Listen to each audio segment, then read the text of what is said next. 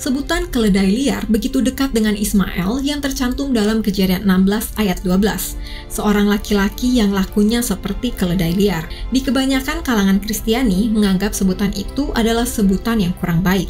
Tetapi perlu dipahami bahwa di dalam Alkitab, binatang keledai bukan binatang yang direndahkan Bahkan berkat Yakub bagi anaknya yang bernama Isakar juga menyematkan kata keledai. Keledai liar adalah gelar berkat yang bermakna positif. Keledai liar adalah orang yang merdeka dan tidak bergantung pada siapa pun seperti yang diungkapkan dalam Ayub 24 ayat 5. Sesungguhnya seperti keledai liar di padang gurun, mereka keluar untuk bekerja mencari apa-apa di padang belantara sebagai makanan bagi anak-anak mereka. Keselamatan yang kita imani adalah keselamatan melalui Yesus Kristus yang lahir dari keturunan Abraham dari garis Ishak.